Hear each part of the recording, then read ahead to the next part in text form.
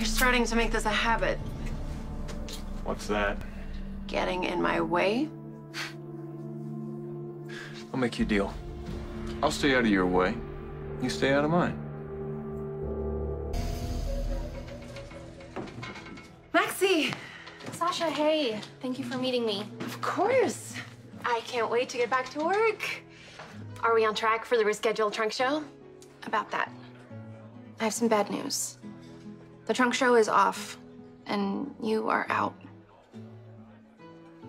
But in the hospital, you said we were still partners. Sasha, let me finish.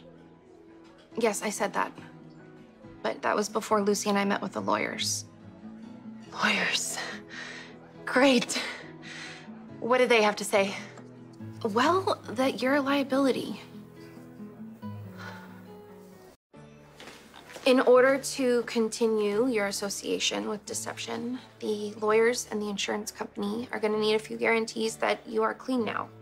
I can guarantee it. I promise. Okay, unfortunately, I can't simply take your word for it. Just like I can't risk you showing up to a photo shoot or work with drugs. I mean, people are already talking about why you ended up in the hospital. And I don't mean local gossip, I mean industry gossip. People in the cosmetics industry are talking about me. People pay attention to a Lucy Coe endeavor. And if word gets out about what really happened, we could lose all of our contracts. I know this is a lot of pressure given what you've just been through. Yeah, a little. But Sasha, this is about more than just losing your job as a spokesmodel. This is about the company that the three of us worked so hard to build. The company that has been Lucy's dream since the 90s.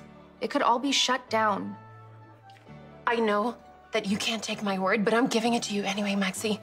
I swear to you, I'm finished with drugs. Deception means too much to me to risk losing it.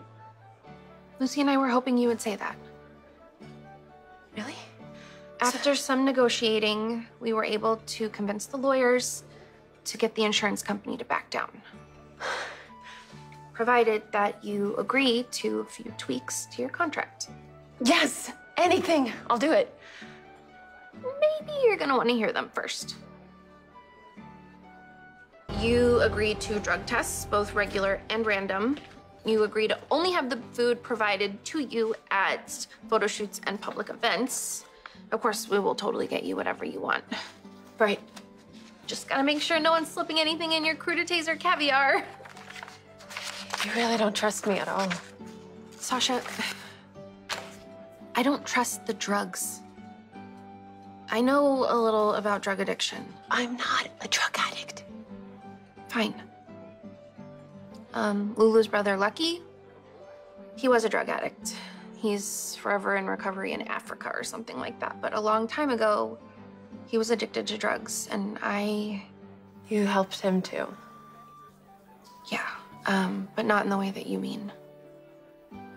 I enabled his habit. I got him drugs. And those drugs destroyed his career and his family.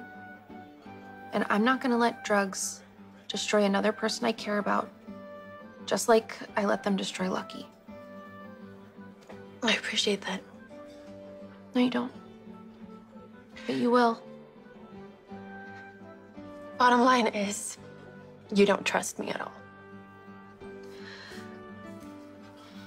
I care about you. And I'm your friend. But as your partner, no, I do not trust you.